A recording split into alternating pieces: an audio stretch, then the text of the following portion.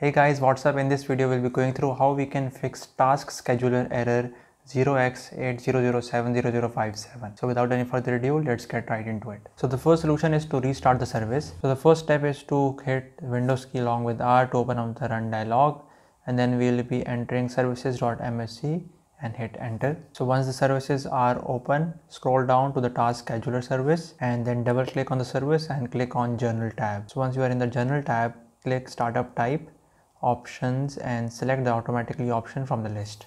Now click on run options and then click on recovery tab. So once that's done, click on the after first failure option and select restart the service. Once that's done, click on after second failure option and then restart the service here also. Then click on after second failure option and then select restart the service here also. Then finally click after subsequent failures tab and select the restart service option. Then finally click apply and hit OK and then run the task scheduler and check to see if the issues persist or not. So the second solution is to disable the antivirus if you have it on your PC. So once your antivirus is disabled, you can try to run up the program and see if you still get the error or not. You can also try to add an inclusion for task scheduler and try to remove it from the block list or you can change the antivirus if it still blocks the task scheduler from running. So the third solution involves in using an administrator account on your PC. Normally if you use a user account which doesn't have administrative privileges you can often see this error.